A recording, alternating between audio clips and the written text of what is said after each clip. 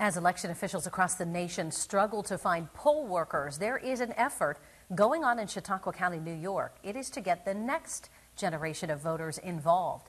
Justin Gould with our news partner WNY News Now has more on the push to hire precinct workers.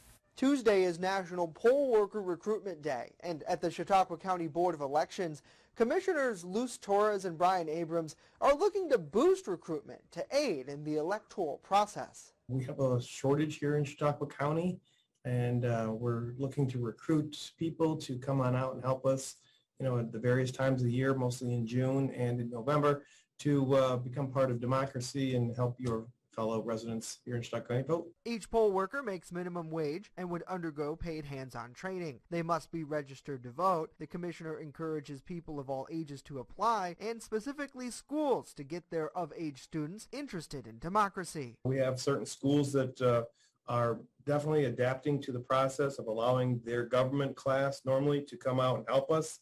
Um, you know, the city schools are, are the most important when it comes to the amount of poll sites that need to be manned. Abram continued that the students that work the polls usually don't want to leave. He says it also encourages them to vote. Get them at that early stage and kind of get them uh, involved at that moment is a plus. It's a plus for them. It's a plus for us and for them to understand and know who's on the ballot and how the system works.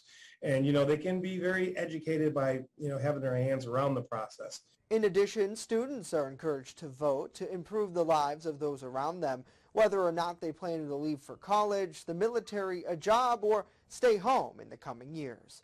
Reporting in Jamestown, New York, Justin Gould, WNY News Now.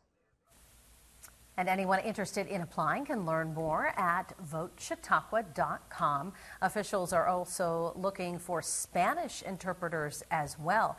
You'll be able to also find some more information on our website at erienewsnow.com.